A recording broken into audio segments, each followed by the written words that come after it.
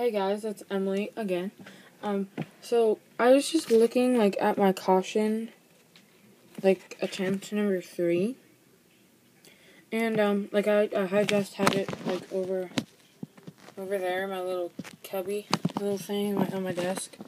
She has like all these little cubbies. Um, and I just had looked at it, and all the bubbles that were there yesterday are gone. Like, there's one bubble right here on the T.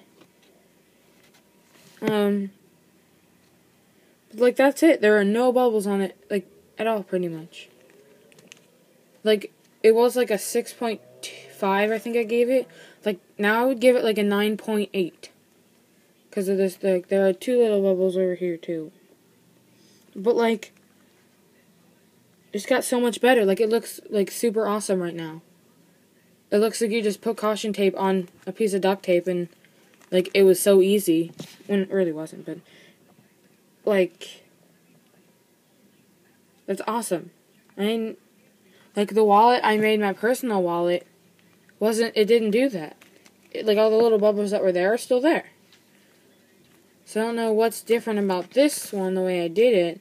Maybe because there's no glue or something, but that's awesome. So um that was just a caution update um, because that's awesome.